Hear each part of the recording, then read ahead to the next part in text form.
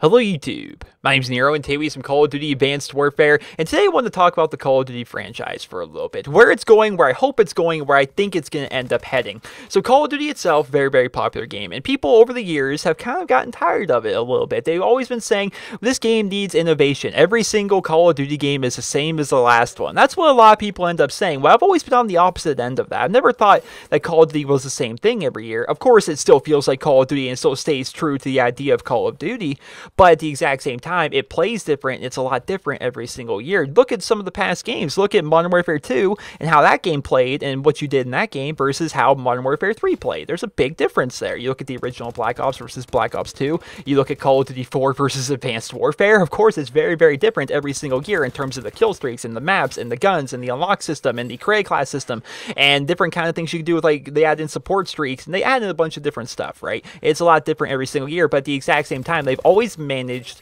to make the game still feel as though it was a Call of Duty game, which to me was a plus. It was awesome. I love that. And Advanced Warfare was the first time they really tried to innovate outside of that normal Call of Duty formula. Of course, we had the idea of exosuits, and in my opinion, the biggest innovation they actually brought to the game was the idea of supply drops. I think supply drops is one of the coolest things that we've ever seen in Call of Duty, and I hope it's in every Call of Duty game going forward, because what it's done is effectively added a looting system into the Call of Duty franchise, which is going to change up how people want to play the game. So you look at Call of Duty and its progress system. Over the over the years, it's always been about prestiging. Ever since Call of Duty 4, when they first implemented create classes and prestiging and things like that, that's been the end game of Call of Duty. That's what you do in the Call of Duty multiplayer. You make it up to max rank in the game, whatever that may be. Could be rank 50, could be rank 55, could be rank 65, could be rank 70, whatever it is in that game. You make it up to max rank, you unlock all the things there is to unlock in the game, and then you prestige and do it all over again. You're in a constant state of progress, which makes people want to continue to play Call of Duty because you're in this constant state of progress. There's always something to continue to work towards. You're going to try to get back up to rank 30 so you can unlock your favorite gun.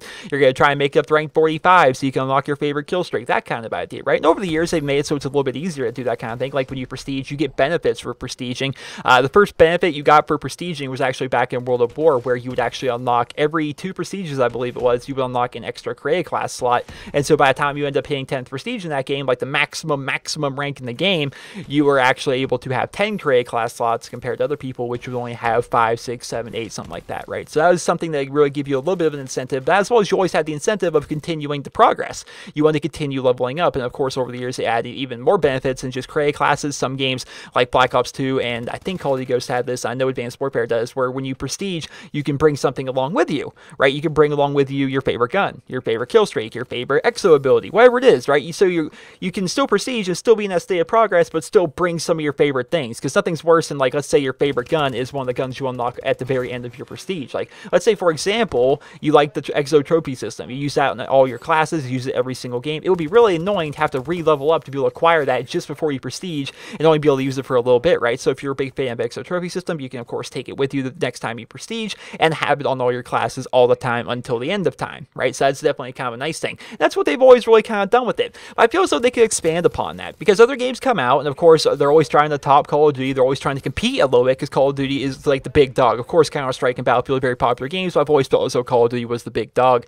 And so what uh, some of these other games do is they add in like a looting style system. They add in other ways to keep you interested because you can't go you know toe to toe with Call of Duty and the only progress system in your game is like the idea of a prestiging system. Why would people want to do that as compared to prestiging in Call of Duty? If they wanted to invest a ton of time into a game, why would they not invest it into the game they already like, not this brand new game that's just came out that they may or may not actually like? So they add in this loot system, right? A lot of these games add different kinds of looting systems, free to loot, which constantly makes you feel like you're being rewarded. And I feel as though Call of Duty Advanced Warfare also does that. Another thing a lot of other games do is you add in the idea of daily challenges, which Advanced Warfare has also done that as well, but I feel as though it could be improved a little bit. You look at the idea that you have a supply drop challenge, which honestly, I haven't even done any of my supply drop challenges just because for the most part, my supply drops don't give me really anything I want. And two, it's always something random, like go get 20 kills with a sniper rifle while playing uplink. It's like, one, I don't use snipers. Two, I don't play uplink. You know, I don't want to go ahead and do that. If it's something simple, like use an SMG in domination or use a shotgun in team deathmatch or something like that, I don't know, something like that I would actually play. Of course, I would probably do that challenge, but for the most part, I always get these really kind of random challenges. So the idea of supply drops eh, in the future of Call of Duty, I feel as though that's another thing that Call of Duty could add to it that's going to to continue to make people to want to play the game. It's going to make people continue to play, and that's the big thing. I think a lot of people kind of forget about that. They think that Call of Duty themselves is all they really care about is the idea of getting a bunch of sales off of release and of course around Christmas. But Call of Duty themselves, they make a ton of money off of DLC. And how you sell DLC is by having people being very vested in your game, continuing to log in once a week, twice a week, three times a week, every single day, best case scenario. They want people to continue to play their game and have a vested interest in playing because if they have that vested interest, of course, they're going to end up spending more money on the game via microtransaction camos or different kind of microtransaction exosuits, things like that. Of course, best case scenario for them, you buy the season pass, you buy the all the map packs, you buy the exo zombie maps, you buy all that kind of stuff. And if you're invested in the game, that's fine, but that's their job. Their job as a Call of Duty developer is to try and get you to purchase these things, and how they're going to do it is trying to make the game as fun as humanly possible and make you enjoy it the most. And what I think they can do to improve that is they're going to add this idea of supply drops into every Call of Duty game going forward because it's a looting system, right? It's very, very fun to have that. You have the idea that every time you, I believe this is how it works, I believe you get a supply drop every 45 minutes of in game time that you play. And so every 45 minutes, you're getting this new supply drop, and from there, you can get a bunch of different weapons. And just how cool that is the fact that there's so many freaking weapons in Advanced Warfare, so many different variants, and they change how their weapon looks. Every single one of them has like a different custom skin on it. And of course, they all have different kind of quirks. Some of them have attachments put on them. It's really kind of interesting. And I don't know about you guys, but it's something I never really thought would ever be in the Call of Duty franchise. I never even considered it as a possibility. I think it's a really, really cool thing that going forward is really going to serve the Call of Duty franchise well. And I hope that Treyarch's paying attention to it and that it'll be put into the next Treyarch game. I'm hoping Infinity Ward's paying attention to this. So a couple years from now, when Infinity Ward puts out their new game, that it would also be a feature in that game as well. I'm hoping for all of that because I definitely think it would be pretty awesome. So that's why I feel so the future of the Call of Duty franchise is going to be like. I feel as though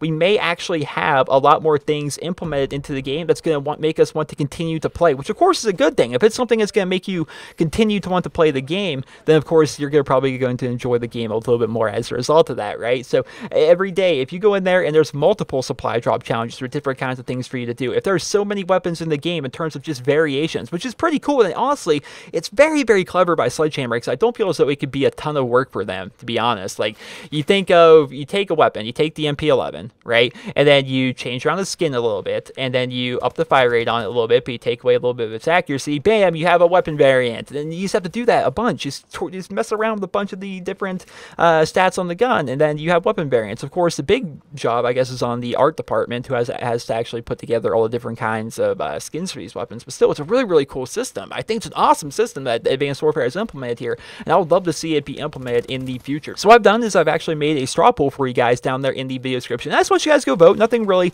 is going to happen with it. I just want you guys to go and vote on there. Of course, you guys want what straw poll is. It's just a polling site. You go there, you click the link, it'll take you over there. You can vote as to whether or not you like supply drops, whether or not you don't like supply drops, and whether or not you would like to see them actually uh, implemented in the future Call of Duty games. I think this is one of those things that really could stick with Call of Duty because I've heard a lot of people say that exosuits are alright. They like exosuits, but they wouldn't like to see them in the next Call of Duty game.